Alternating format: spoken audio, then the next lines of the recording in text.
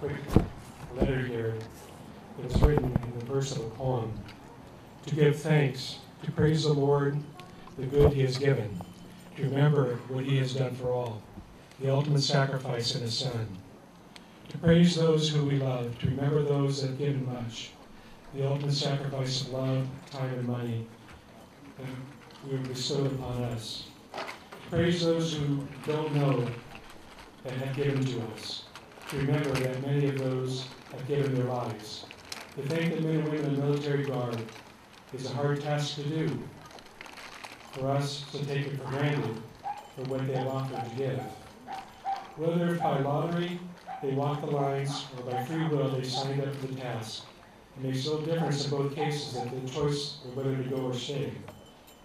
Many walk among us, among us, and we're, and we're not included who they are in their civilian life because it's a perfect mess that covers what the past that they did, that they gave. If you are blessed to know such of these, please stop and say thank you today. For each soul that is given in battle, a thousand more were saved from the fray. So that I can sit here in freedom, and all of us can, and write this day. My thoughts, my prayers, I freely send them to you today. I thank God for this eternal sacrifice. I thank God for my family, for the sacrifice of love.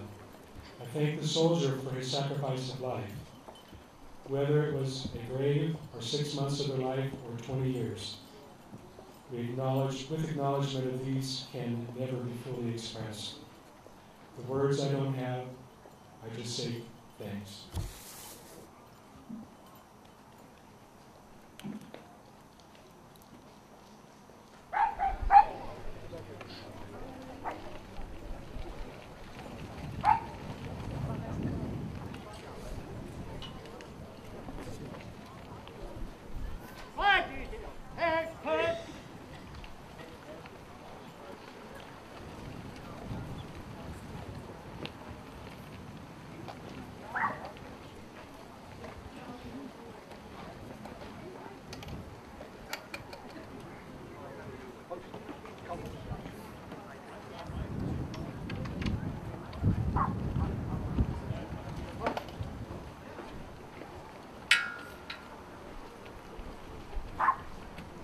All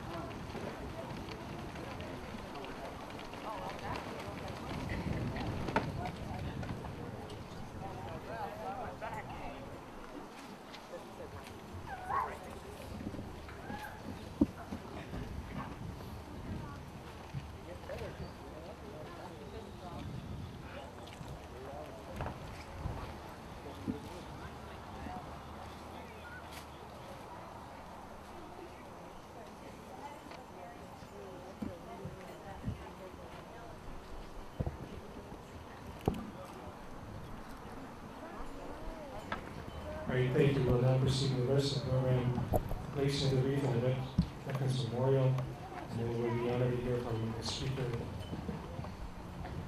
Battalion Commander Lieutenant Colonel Stephen McLaughlin, and then we'll proceed with the rest of the program from there. Mr.